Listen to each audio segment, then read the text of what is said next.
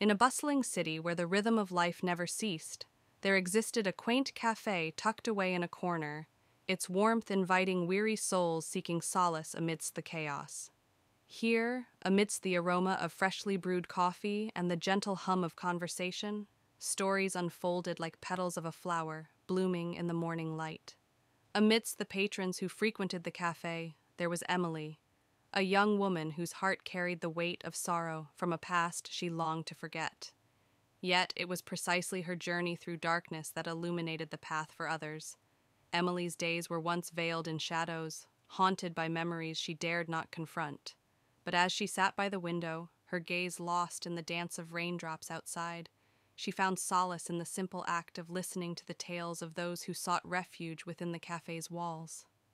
One rainy afternoon, as the clouds painted the sky with shades of gray, a stranger stumbled into the cafe, his shoulders burdened by the weight of despair. His name was Daniel, a weary traveler whose spirit had been worn thin by the storms of life.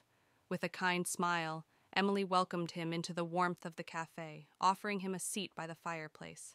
As the flames flickered and danced, Daniel poured out his heart, his words a melody of sorrow and longing.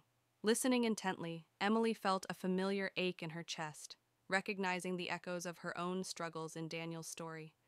With gentle words of encouragement, she offered him a glimmer of hope, weaving threads of resilience into the fabric of his despair.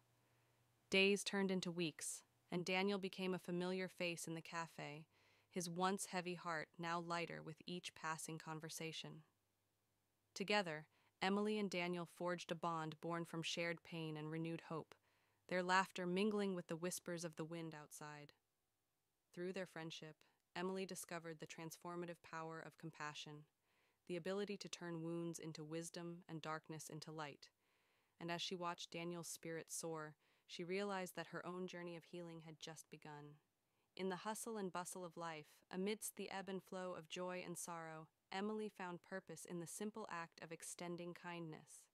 For in reaching out to others, she not only healed her own wounds, but also wove a tapestry of resilience that stretched far beyond the confines of the cafe.